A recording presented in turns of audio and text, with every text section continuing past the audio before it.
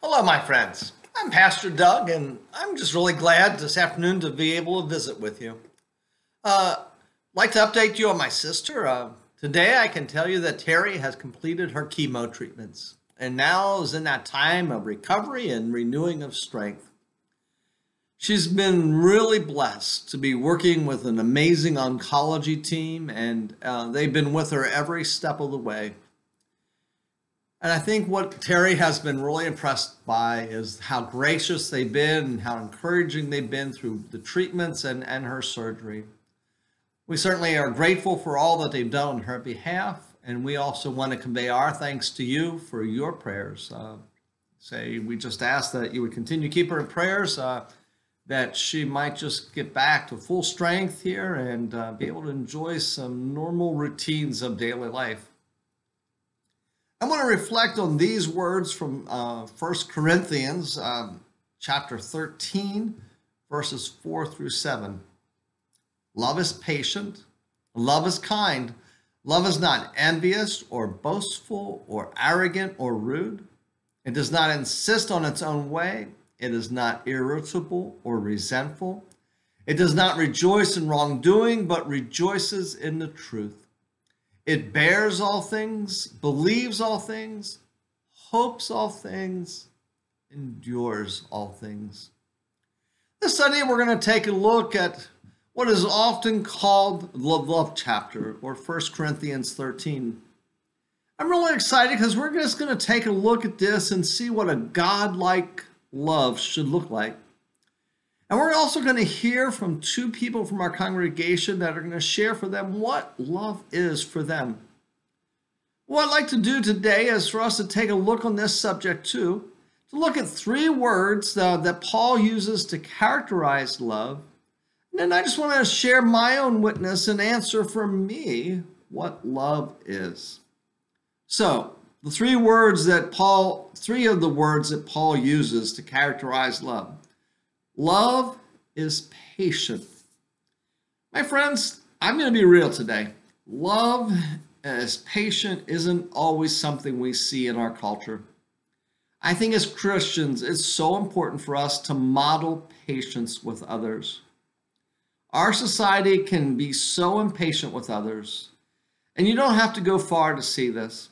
One only needs to go for groceries and see how short some clerks are treated or go out to eat and see how the wait staff is treated, or unfortunately, see how bad family can, tr- can treat one another sometimes. God like love for me is exemplified in the teaching profession. I see it here at the Wesley Preschool and see it in our teachers. They, they are so good as they share a lesson they correct a student or they guide a restless student back to the task of the moment. They abound with compassion and love as they help that student to grow in understanding and to develop socially. So I, I my kudos to teachers of all ages as they remind us by their example that love is patient. Secondly, love is kind. Love is kind not just to our friends, but to everyone. You know, Dee and I try to practice this in some very simple ways. Dee and I try to always remember to thank any clerk who helps us, to compliment a wait staff for a job well done, and try to greet and, and smile uh, at folks that we see along our way. You know, and it goes even beyond that. Kindness is taking time to lend a helping hand or listening ear to someone who's having a tough day. Kindness is offering a word of, or of encouragement or help rather than criticism. I think I really see our daughter Anne live this out well when her, when her children are going through a tough time. Um, she'll be very quick to uh, encourage them uh, if they've had a bad game or a tough day at school, and she'll offer a word of, of, of encouragement saying, Well, you know, today wasn't great, but you know, I know you're going to do better. You know, that next time's going to go better for you. Or I think you're improving, and I think next time's going to even better. she finds ways to encourage and, and, and uh, offer support rather than criticizing. So we need to remember that, that love is patient, love is kind, and third, love is not rude. It's hard to see, but some folks seem too quick to bluntly point out a mistake or perceived slight and do it under the guise of just telling the truth. My dad taught me my, by, by word and example.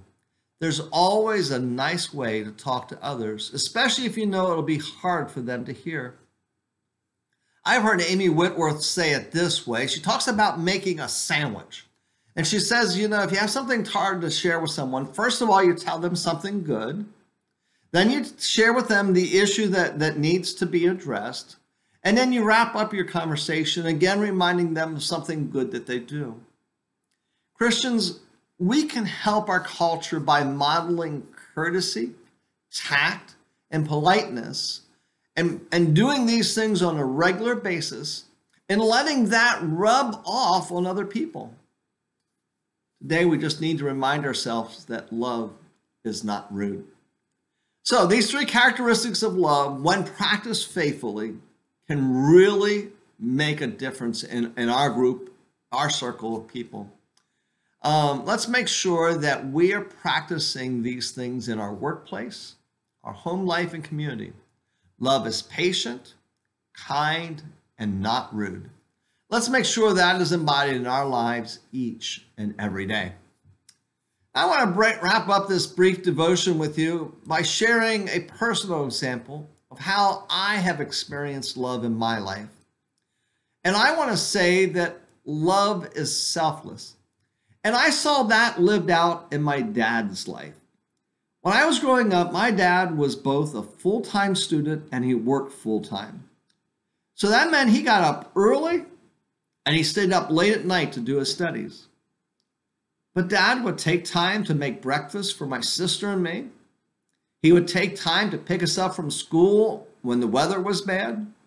And he always would make time to attend all our concerts and recitals.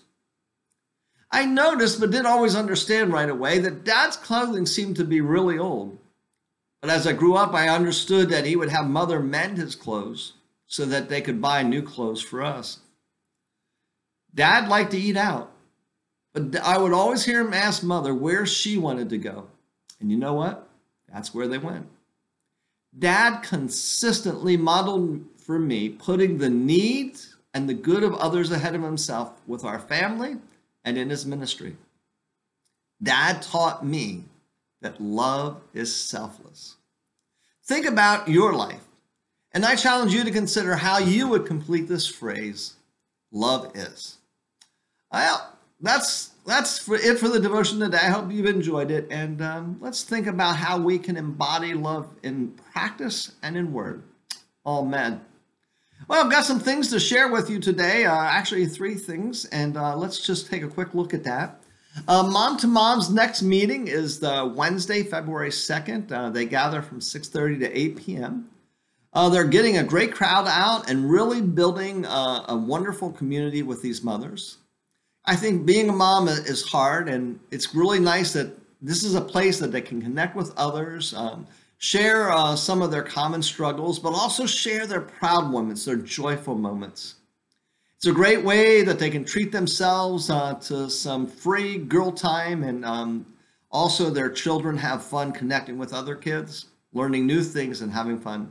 So uh, we certainly want to invite the mothers uh, in the community um, in our congregation to join us uh, next Wednesday evening from Mom to Moms. I uh, want to be sharing, and we'll talk again on Sunday about this opportunity, but we're going to have a really special service on February 13th that focuses on the faces of love. And this service is going to conclude with the opportunity for couples to come forward and renew their wedding vows. There will be a reception following the service, and we'll even have a wedding cake.